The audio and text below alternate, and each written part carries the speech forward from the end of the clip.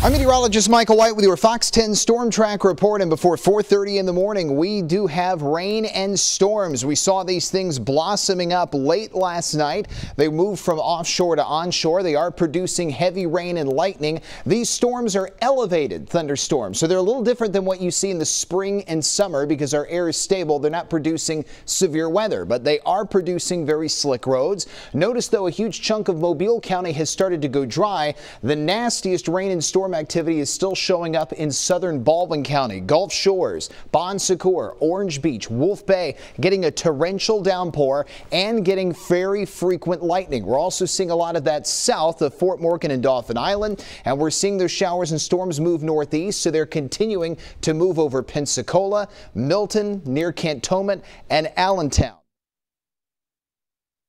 dealing with offshore to onshore rain and storms. A very wet commute is expected, especially now if you're east of Interstate 65. By late morning and into midday, the rain's gone.